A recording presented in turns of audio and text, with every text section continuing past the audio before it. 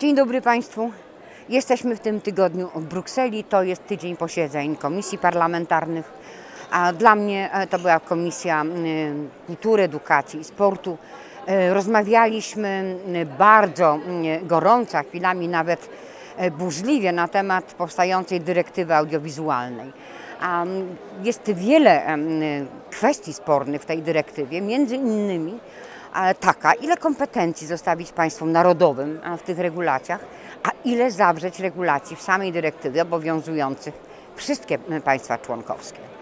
Mm, Odbyło się także posiedzenie grupy roboczej Komisji Gospodarki, Badań i Energii.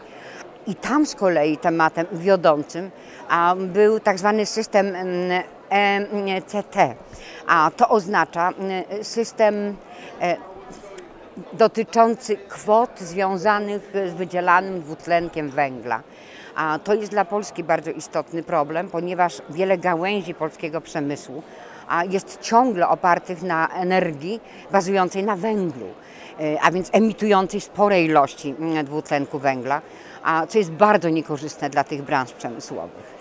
No i wreszcie dla mnie to był bardzo miły tydzień, ponieważ gościłam y, grupę y, z Polski, grupę z Wielkopolski, a byli to udziałkowcy, byli to krwiodawcy, byli to zwycięzcy sołtysi. Y, Grupa zróżnicowana, jeśli chodzi o zawody, ale mam wrażenie, że grupa zwarta, jeśli chodzi o swoje odczucia z parlamentu. Bardzo Państwa gorąco pozdrawiam z Brukseli do zobaczenia za tydzień w Strasburgu. Dziękuję bardzo.